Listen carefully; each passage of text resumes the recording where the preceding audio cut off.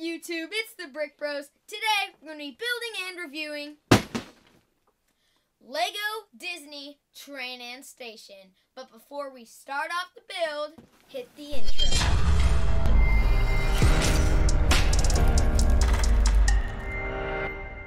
Let's open it up.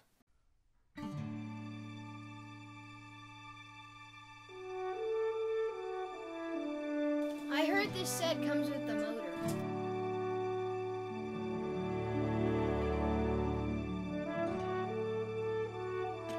And here it is, the motor piece.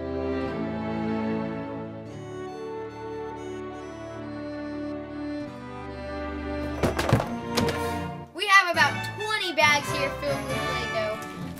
Probably enough track to go around the whole station, a motor, and not to mention four instruction manuals. This is a huge set. Let's start building. This is to take a long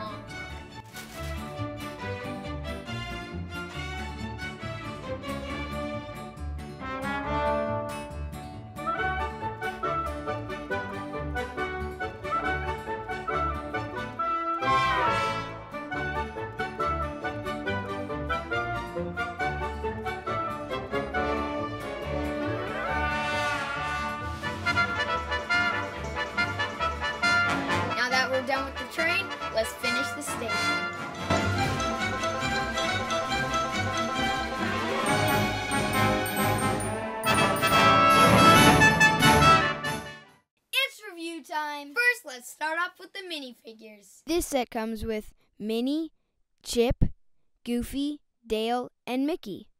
Next, let's review the train. The train has four cars. First, let's start off with the locomotive. The first thing I like is the smokestack. My favorite parts are the cabin and the bright gold bell. Next is the coal car.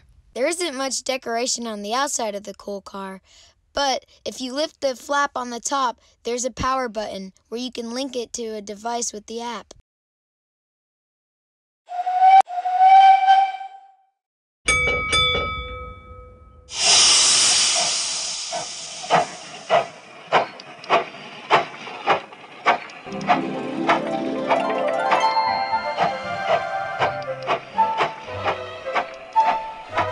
With the app, you can control the train's speed and you can play cool sound effects.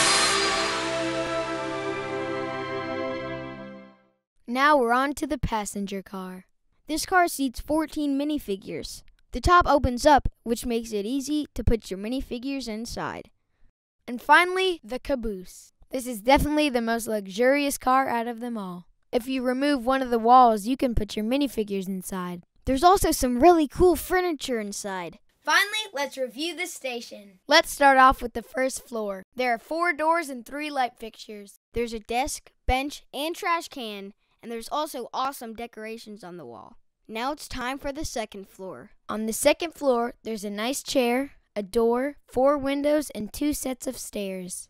Now it's time for the roof and attic. In the attic, there's another Lego set, the Lego Disney Castle. On the roof, there's two flags and a nice railing. And finally, the outside of the building. I like the brick design, the lanterns, and the balcony. Don't forget to like and subscribe. Thanks for watching. Brick Bros out.